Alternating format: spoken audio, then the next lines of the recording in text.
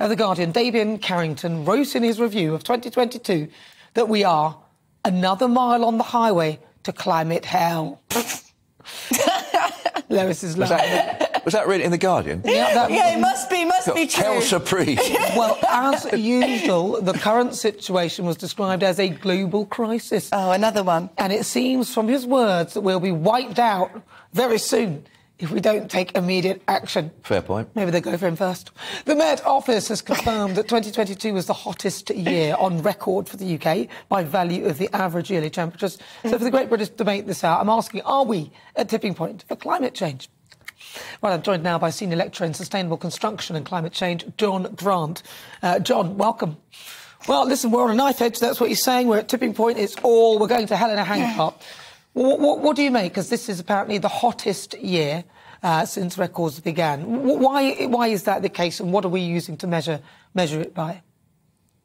Well, I mean, we, we're, it's, it's not a surprise that we've been talking about this for 30 odd years, and people have been laughing it off because obviously planetary systems they take quite a while to change but once they get moving that momentum kind of continues as well so it, it shouldn't be a surprise to anybody that you know the laws of physics say that as you keep increasing the amount of carbon dioxide methane nitrous oxide and the knock-on effects of water vapor and all of that that that we're we're we're experiencing a much warmer world and you know, our summers um, going through through. I mean, the most recent summer was a, a, sort of exemplified this. But not only the summer, you know, in November, although I think most of us have forgotten it because it was so cold um, in the latter part. you know, we were at 21 degrees and on Remembrance Sunday in in Wales, parts of Wales. It's it, it's very warm, but we've got this flickering effect as well, where we experience it really cold. Look at America that's dragged down all of this Arctic air over it. And, you know, we could uh, theoretically have a similar experience over here. This is this has all been predicted, and it's just unfortunately that that you know it, it, that that statement from the Guardian is that you know we, we ignore this at our peril. But I mean, okay, so okay, so I mean, you, you are. Do you remember the summer before this one? I mean, that wasn't so great, was it? And obviously, the way, I mean, and some winters are hotter than others. I mean, how, how long have these records been going on for? Because I think if you look at the global, the, the Earth and the world as a larger thing, haven't we gone up through these peaks and troughs um, throughout the throughout existence of, of the planet? Yeah. Absolutely, the, the planet is always changing, and, mm. and that is often given as a as a reason why we should ignore the current shift. But but what you need to put into that that is the speed of the change and previous extremes that we are aware of. So it was a little bit warmer in the medieval times around Europe, but not across the world. And uh, the, the thing is that over the last 10,000 years or so, we have been relatively stable, about one degree warmer or one degree cooler than a than an average. Now, what we've got at the moment is that we're at 1.2, over 1.2 as an average. Uh, as an average, remember. So there are parts of the world that are significantly warmer and other parts that are cooler or stable. But but but but this speed of change, it is this speed of change that we're experiencing that we really haven't seen in the geological record. And that that that's where you know the, the, the concern comes from the scientists. It's not that the world is changing. Yes the world could change. It is the fact that we are pushing this with our accelerator firmly on that pedal going down this road and we're doing it very rapidly. And that put, gives us a real challenge to adapt to this changing world. And you know and this flickering of, of extreme heat and extreme i think cold the word that you said there is, is, is adapt isn't it? John. john john, john John, the word you said there yeah. is adapt. Yeah, is adapt to the change. Um, not necessarily try and stop it, because I don't know how much power we really genuinely have to stop yeah. something that is changing, which would be changing anyway, but you're saying it's changing quicker than it would normally. And you also said, uh, since uh, previous uh, records that we are aware of, of course, that is that we, we don't really have a real, we don't really know, do we?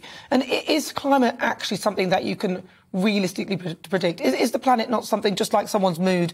You can't really tell what it's going to do. Uh, there's a feedback to it. What you do might make it do something different. So with us changing the, the amount of CO2 and stuff might encourage something different, which could be worse. Is there, is there any, in your modelling, is there anything that factors in if the planet doesn't do what we're expecting it to do? Of course.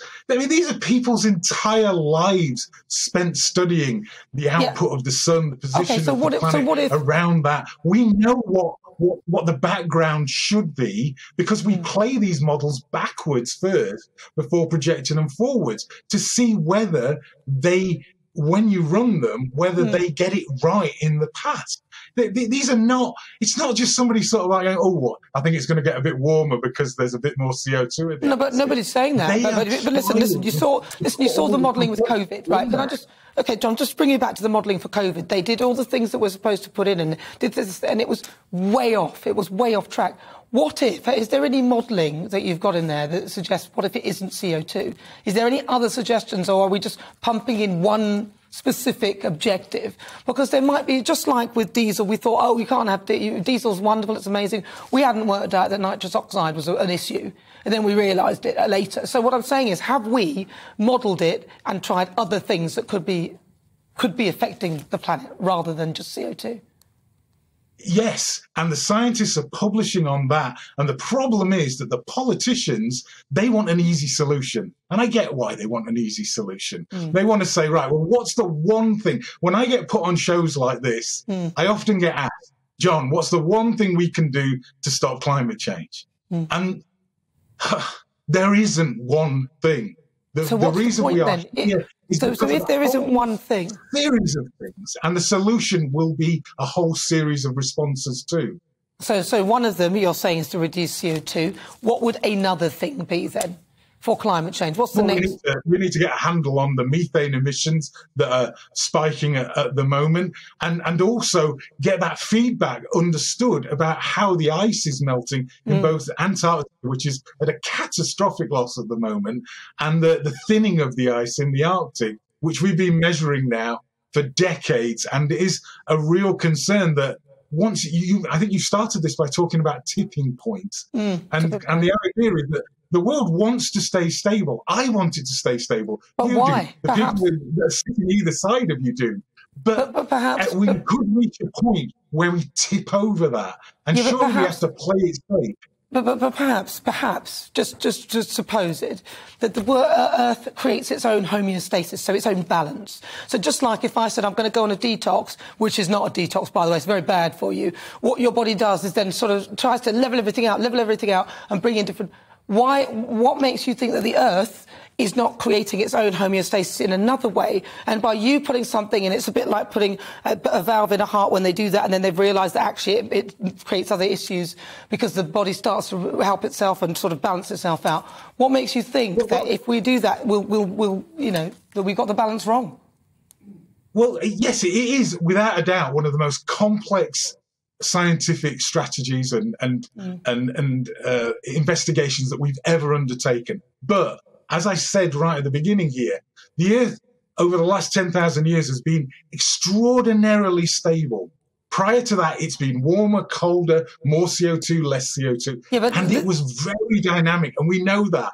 And what we could do is push ourselves out of this very stable mm. situation mm. because it is extraordinarily unlikely for us to be this stable for well, listen, John, thousand years. Well, listen, John, I'm running out of time. if we go out of John, it, John, I'm running out of time. I could talk to you about this forever. We would never agree. but it's really, really good to talk or to you. disagree. We, we, well, well, I do disagree. I do disagree. It's whether you accept that we can be pushed out of this. I, well, I don't. I, I, don't. I think that the Earth itself could find its own balance. And I suspect that what we well, could, could do could, it's could whether humans can live in that new balance. But, but That's my yeah, concern. But maybe we are not meant five to. degrees warmer now. But maybe we could never change it. John, look, it's always great to talk to you. Thank you so much for joining me.